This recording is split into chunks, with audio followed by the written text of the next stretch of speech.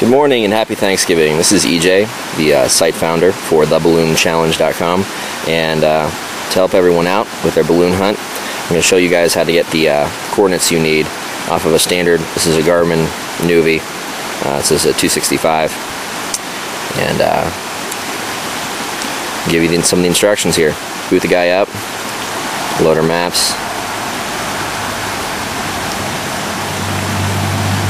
and uh, standard agreement. View map. And wait till we acquire our satellites.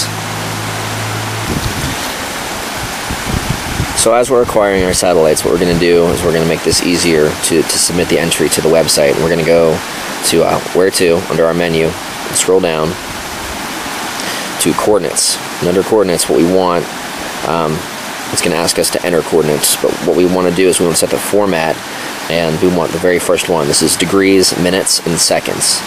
So we pick that, give it the OK, go back, back, and view map. Oh, we've got it ready to navigate, so we're good to go.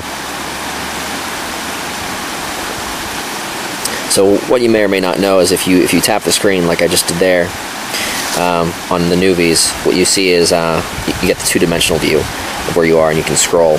Um, but what you may not know is if you actually tap the vehicle icon, you're going to get your location coordinates here. This is your latitude and your longitude.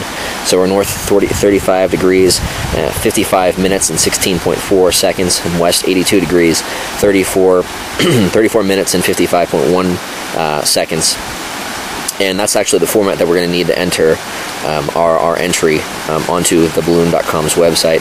Uh, we're going to drop the um, uh, the decimal place, so you're going to round up or, or, down as you so choose. Um,